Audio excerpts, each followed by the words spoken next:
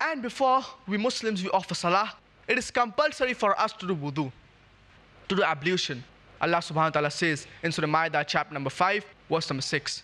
Ya ayyuhalladhina amanu, O you who believe, idha kuntum li Salah, when you stand for prayer, faghsilu wujuhakum, then wash your faces, wa aydiyakum ila al-marafiq, and your hands up till your elbows, wa bi ru'usikum wa arjulakum ila al-ka'bayn, and wipe your forehead and wash your feet up till your ankles. So doing wudu is compulsory before salah. And a similar message is mentioned in the Bible. It's mentioned in the book of Exodus, chapter number 40, verse number 31 and 32. Moses and Aaron washed their hands and feet thereat. And when they entered into the tent of congregation, and when they approached the altar, they washed as the Lord had commanded Moses, peace be upon him. A similar message is mentioned in the book of Acts, chapter number 21, verse number 26 that Paul, along with his men, washed in front of the Lord. The reason why we Muslims do wudu, it is for cleanliness and hygiene. And besides this, it is also a form of psychological preparation, a mental preparation before we communicate with Allah subhanahu wa ta'ala.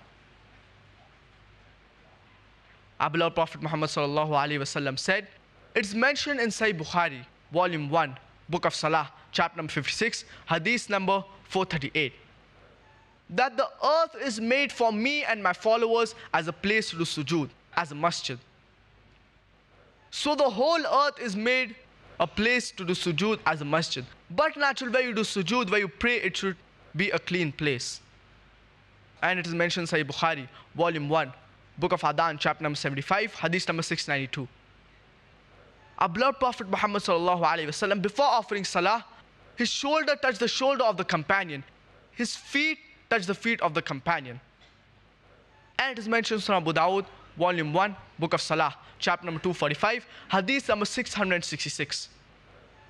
Our beloved Prophet Muhammad before offering Salah, he said, stand shoulder to shoulder, closing up the gaps, and do not leave any opening for the devil irrespective whether you're rich or poor, whether you're black or white, whether you're king or a pauper, when you stand for salah, you should stand shoulder to shoulder.